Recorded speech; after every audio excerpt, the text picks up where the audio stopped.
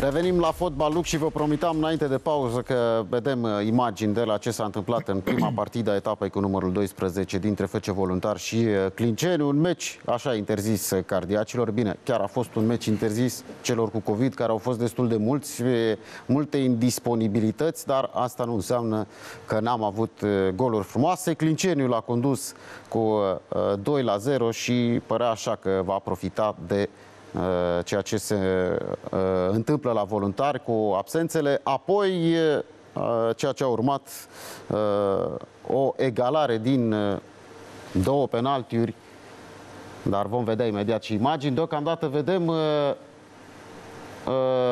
clasamentul cu distanța, iată Marius, destul de mare de recuperat și de FCSB, mai ales că sunt și două meciuri directe. Apropo de moștenire grea a noului antrenor, meciuri cu Craiova și cu FCSB imediat după, după meciul cu Young Boys și o echipă care resimte totuși în această încărcătură de meciuri, propriu zis, că de vreo 2 ani de zile CFR cred că a sărit de 100 de meciuri, așa Da, e, e un Sau final... Nu, chiar mai puțin, un an și jumătate. Da, e un final destul de încărcat și aici, aici cred eu că, așa cum am început să să spun despre următoarea perioadă, va fi foarte important de gestionat uh, situația și, bineînțeles, meciurile care, care urmează. Sperăm să nu fim uh, cu probleme de efectiv, pentru că um, și așa nu avem prea multe soluții și dacă mai, uh, mai apar accidentări, uh, va fi extrem de, de complicat pentru noi. Domnule Sabou, haideți să vedem ce s-a întâmplat uh, la voluntar, dacă avem uh, Uh, imagini cu uh, golurile de la uh, FC Voluntari Clinceni. Câteodată Meci spectaculos. Da, câteodată, iată, și când sunt absențe, apropo de jucători. Andone s-a întors pe, da. Bine, pe două bancă. goluri ușoare aici, două lovituri de cap, ușoare, Așa. Bilali în minutul 10 și Cebotaru în minutul 14. Și început bun a celor de la Clincer, că am avut două, trei situații. două bare, am văzut și ocazii uriașe. A fost așa un meci deschis. Au dominat. Bine, cu multe absențe. Da, și apărările cam vraiște, de adevărat. Da, probleme de lot, uh, antrenorul. Da, pe bancă a cu stat probleme a stat Andone. Da. Managerul uh, celor de la voluntari. Apoi două penaltiuri. Iată, revenirea voluntarului în minutul 25 nu prea e, dar nu mai contează. Știu, nu? E penaltă aici, Marius? Da, nu prea e, nu? Așa zic și eu, că nu e. Aici e destul de greu să văd ceva, adică să fi lovit uh, adversarul aici. Am, jucători aveau piciorul în pământ, mi așa mi se pare, că ridică într-adevăr fundașul un pic, dar apoi ratează mingea, A, dar nu nici nu la, poate puțin nu. cu șoldul așa. L-a invitat puțin la dans, în niciun caz nu l-a lovit. Nu? Nu cred că e penalti. În fine, uh, Ion Gheorghe, apropo de Dinamo, iată ce jucător are voluntariul în schimb. N-a avut șanse decât foarte puține. Cred că atunci cu bratul, nu? Atât a jucat Ion Gheorghe la Dinamo. Foarte puțin. Bine, mult mai mult. Au plecat mulți din generația respectivă care au câștigat și campionatul de juniori. Mai vine un penalti în minutul 33. Ia uitați aici. Da.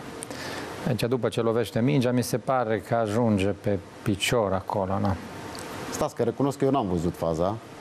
Da, Acum o văd pentru prima dacă dată. te uiți aici, după ce lovește mingea, intră direct pe piciorul lui de sprijin jos, dacă arată din apropiere. Bine, aici e regulamentar, că se spune uite, că e mingea aici, în joc.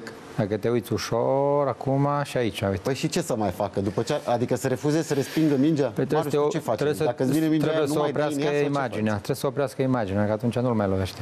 Păi și ce să faci că ești în aer? Apoi la vine în fața ta. Ce păi să ce? mai faci? Unde să te să Te duci, că să... ai lovit mingea și e normal că ești în alergare. Nu te poți opri, că n-ai...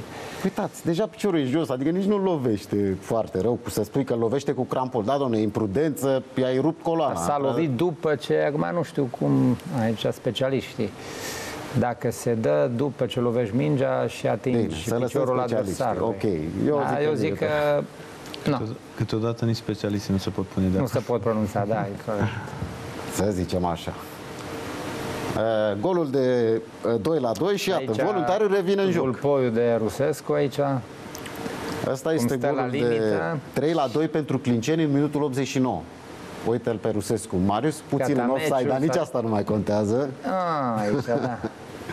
Preluarea de manual, finalizarea nu mai vorbim. Mi-ați spus că e, e, mai, e foarte grea execuția, domnule Sabo. E foarte grea aici, sigur, pentru că ești foarte aproape de, uite, de portar. Adică, bine, portarul deja era... Culcat. Culcat. Deja, nu știu, a crezut că dă tare și s-a pus jos aici. S-a distrat puțin și Iulian Călin, arbitrul acestei partide. Apoi păi, însă... Păi, Bila, el trebuie să știe, că îi zic Bila, că el a fost un atacant super aici. Cum? E greu sau ușor? Mie mi se pare că orice, orice gol e greu de dat. și alea care par foarte ușoare sunt grele. Cred că trebuie să ai și o stare mentală să-ți alegi execuția. Adică dacă dai să ai experiență, să fi trecut că, de exemplu, astfel da, de adică momente, adică să mai fi încercat să, ai o să fi ratat. acolo în gleznă, cred așa, și o stare mentală din asta, să, să ai tupeu, practic, să, să faci din asta. Și golul de 3 la 3. La fel. Da. Dublă Ion Gheorghe, Gheorghe minutul da. 93. Iar o finalizare Așa frumoasă. aici e gata meciul și nu-ți iei măsură, adică să vii, să închizi spațiile, să dublezi acolo în interior, mijlocașul să vină, să faci 2 contra 1, să n-ajung, e gata meciul. A apărut așa și un meci al prieteniei, acum... Păi, uite, sunt doi. Ah, ok, atunci Așa, adică în sensul, hai să dăm și noi, dați și voi și așa mai departe. Dar ai și meci frumos, asta Cred este. Cred pentru că voluntarul vine după Bine, în glumam, ultimele vă 9 meciuri, sper că n-a luat nimeni în serios. În, în ultimele uh, 9 meciuri, 7 înfrângeri oficiale. A pierdut și cu gaz metan. Uh, cât a fost în cupă? 6-0, nu? Da, da, a fost, da, a fost da. un scor de, da, clar că își dorea, set. plus era Andone pe, pe bancă. Adică, deci voluntarul se concentrează, să înțeleg, și pe cupă. Haideți să-l ascultăm pe uh, Ioan Andone și revenim. Bună seara, domnule Andone, și felicitări, nu? Un punct uh, cât o victorie. Bine, la un moment dat, uh, după începutul prost de meci, în care am primit două goluri din două lovituri libere, normal că am un probleme, dar am intrat bine în joc și chiar am jucat bine. Nu ne așteptam de mine, eu mă așteptam să jucăm uh, bine.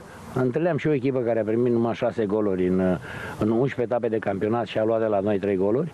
Am știut cum să jucăm împotriva lor, să-i blocăm, Știam că atacul pozițional au probleme și au creat ocazii, pentru că e normal la jucători care joacă pentru prima dată în Liga 1 sau mai jucat meciul de cupă, dar uh, rezultatul până la urmă echitabil, cu toate că golul 3 al lor l-am primit uh, în 10 oameni. Aveam un jucător accidentat afară și ei au jucat N-am apucat să facem schimbare și eram în 10, că altfel poate nu mai luam și câștigam meciul 3-2, care era un rezultat normal, pentru că ocazia a fost și de o parte și de alta. Ei ne-au dominat teritorial, normal, experiența jucătorilor față de a noștri, dar au, jucătorii au jucat ceea ce le-am cerut, mai ales în faza de atac. Jucătorii dumneavoastră spuneau acum că la 0-2 era frică să nu se întâmple dezastrul cu media. Și ce l-ați spus atunci? Cum de ați redresat echipa? Ei, golurile care le-am luat, v-am zis, au fost două lovituri libere în care uh, n-au făcut bine marcajul. Deci primul a fost corner, uh, respingere, recentrare și am pierdut marcajul. Al doilea gol uh, era Ciubotarul singur în care eu plecase de pe 16 metri și jucătorul care stea pe 16 metri n-a venit cu el. Dar uh, lucrurile, ei au jucat ceea ce le-am cerut. Un 4-3-3 cu, cu Mailat și cu Dorobanțu apropiat, apropiat de Stoica, care și Stoica și mai ales Ionuț Gheorghe au făcut un, uh, un meci fantastic. Chiar ne, foarte bine. Ionuț Gheorghe pentru prima dată în cariera lui a scris trei goluri, ceea ce, ce mă Două bucură. putea să-l dea și pe al treilea dacă bătea penaltiul acela. Da. La 3-2 pentru Clinceni, după golul lui Rusescu, cum ați văzut? Mai credeți că se poate? Da, bineînțeles. Cum să nu? Tot, tot timpul crezi până flori arbitru, cum să nu?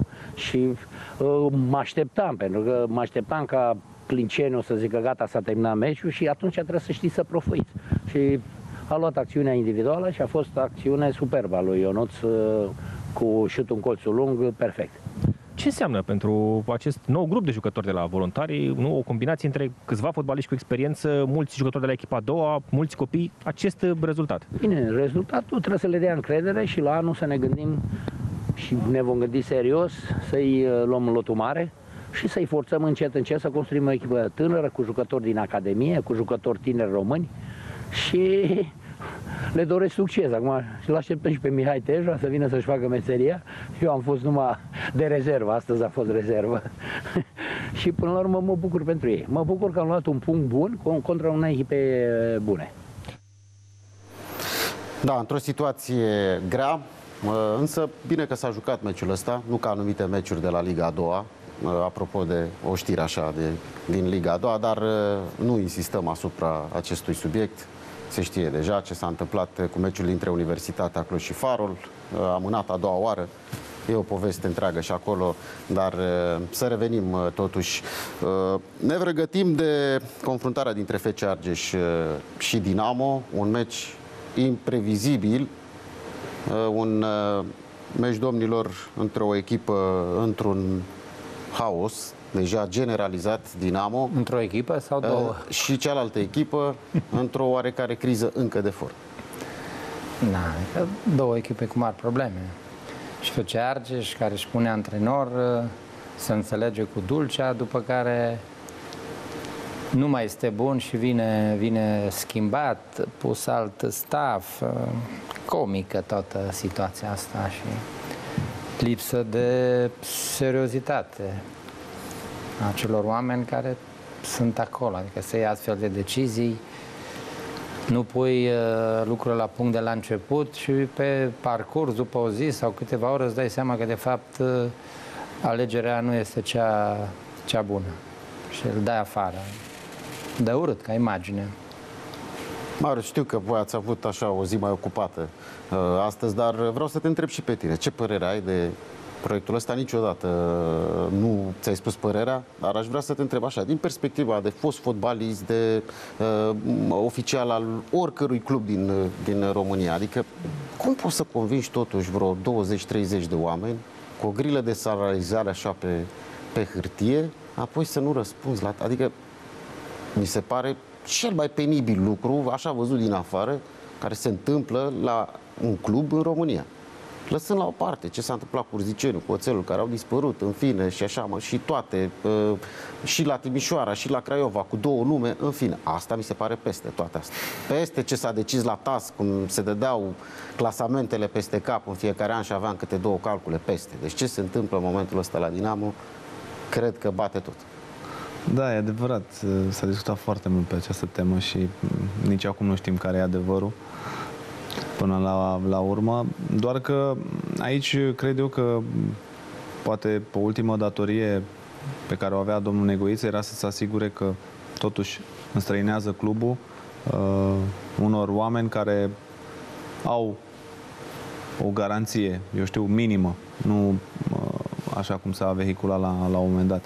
Și aici eu cred eu că a fost, a fost o greșeală. Că până la urmă este simplu să, să vinzi ceva de care nu, nu ai nu te legi prea mult și până la urmă scapi ușor. Dar aici, fiind vorba de, de un brand național cum e Dinamo, o echipă cu, cu atâta istorie și tradiție, cu, cu atâția suporteri, cred eu că ar fi putut să, să aibă măcar Uh, siguranța că uh, vinde echipa unor oameni care au, uh, au potențial. Da, domnule Sabău, care ar fi scăparea? Că noi am mai tot vorbit aici de situația lui Dinamo, ok, nu vă mai întreb ce părere aveți, pentru că... Păi iată, s-a discutat Dar care luni... este urmarea? Adică care ar putea fi în pers- acum perspectiva lui Dinamo?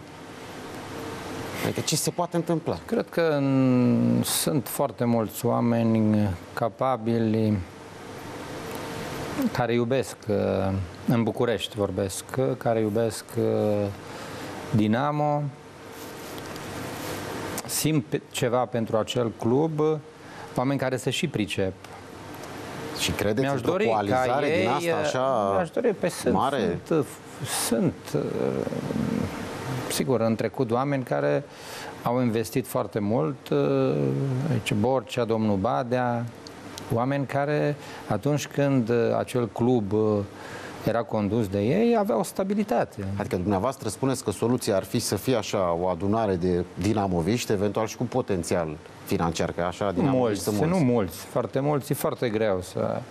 Dar va fi adică mult mai ușor să susții din punct de vedere financiar. Adică ai 4-5 uh, oameni care vin, știu cu 1-2 milioane de euro, sigur, e mult mai ușor.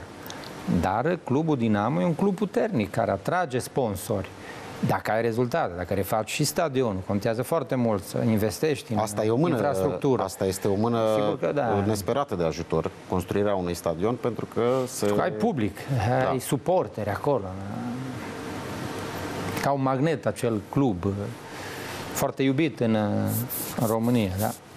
Dacă există această uh, instabilitate permanentă, se discută numai lucruri negative, nu, nu se văd speranțe că lucrurile se vor... Eu am crezut foarte mult la început, am fost naiv să cred că Sigur, m-am bazat pe faptul că au venit foarte mulți jucători străini plătiți foarte bine și spanioli, investitori spanioli. Bine, ne-au luat ochii. O asociere Ne-au luat ochii cu- pentru că băieții au intrat, au făcut câteva prelori, într-adevăr, cine, mai ales cine se pricepe vede totuși fotbalistul de clasă și gata, am zis, mamă, Dinamo, cotată la Foarte greu pariuri, să era deja la lucrezi cu pariuri, la, astfel de era a jucători. treia echipă sau a patra echipă după cele trei care sunt acum în cursă, adică Bine, dar ăștia au și personalitate. Adică dacă tu două, trei luni de zile nu dai niciun semn, nu-i plătești, nu-i apreciezi, faptul că nu-i plătești, clar că nu-i respecti pe acei jucători. corect. Și nu respecti Că competiția în care a ai venit. încercat sau- uh, o lună, două, să tot lungească această perioadă, să-i motiveze, vor veni, să avem răbdare, se reorganizează clubul. După ce și-au dat și ei seama, ce să mai... Haideți să vedem. Jerry Gane, uh, care a rămas uh, deocamdată, să vedem și pentru cât timp, oricum, uh, uh, vești bune, nu știu dacă are să dea pentru viitorul lui Dinamo. Să-l ascultăm. Bună seara! Uh, Ați rămas dumneavoastră la Dinamo uh, în această seară, veți conduce echipa. Uh, Cum uh, a fost să alcătuiți echipa în condițiile în care sunt mari probleme la club? Da, o săptămână destul de dificilă, delicată, mai ales prin uh, plecarea lui Cosmin și a unor jucători. Nu, nu este ușor, dar uh, trebuie să continuăm și sper să continuăm în linia pe care am avut-o ultimile două meciuri. Cel puțin pe plan sportiv trebuie să arătăm bine, nu numai pentru noi, dar și pentru suporterii care și astăzi au venit să ne, să ne sprijine. Știați că veți rămâne dumneavoastră principal sau a fost așa o decizie de ultim moment? Nu, mi-a spus Cosmin, m-a rugat să rămân, da, pentru că cunosc foarte bine, foarte bine echipa și pentru ultimile etape sunt aici să, să dau tot ce pot și eu și băieții să scoatem maxim din cele patru partide care mai sunt în acest an. Mai puteți să îi uh, motivați pe jucători în condițiile date? E greu, încercăm uh, zi de zi să facem ceva. Promisiunile care sunt la nivel de conducere transformate până acum numai în minciuni rămân în continuare și așteptăm proxima semană, pentru că nu avem ce face, dar măcar pe teren să arătăm bine. Să arătăm bine pentru, pentru tot ceea ce înseamnă acest club. Vedem astăzi în uh, primul 11 doar patru uh, jucători uh, străini. V-a fost mai greu să-i convingeți să joace astăzi sau care, au, care a fost uh, decizia care a stat la baza unui asemenea 11? Nu, cei care au decis să plece, și mă refer și la Borja și la Ismail, decizia lor trebuie să o, să o acceptăm, vrem, nu vrem, pentru că așa a fost situația și trebuie să înțelegem. Ceilalți care rămân aici, sigur că sunt capacitați 100% pentru, cel puțin pentru meciul de astăzi. Săptămâna viitoare nu știu dacă vor mai pleca, e posibil, dar uh, noi trebuie să, să continuăm. Și Nu a fost ușor, m-am confruntat săptămâna asta și zilele astea cu probleme medicale din partea unor jucători, dar ăștia suntem pentru meciul de astăzi. La ce să ne așteptăm în această seară? În această seară, 100% vrem să luăm 3 puncte și să continuăm cu a treia victorie, după cele două cu voluntariu și cu viitorul în cupă. Mulțumesc!